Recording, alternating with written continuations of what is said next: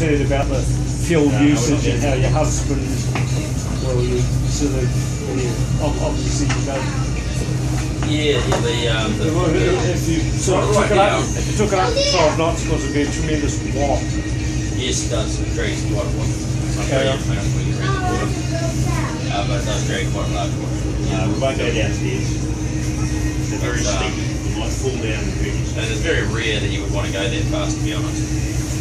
Um, generally speaking, we're putting the line up on the ship, we're only doing it at about 8 knots. Um,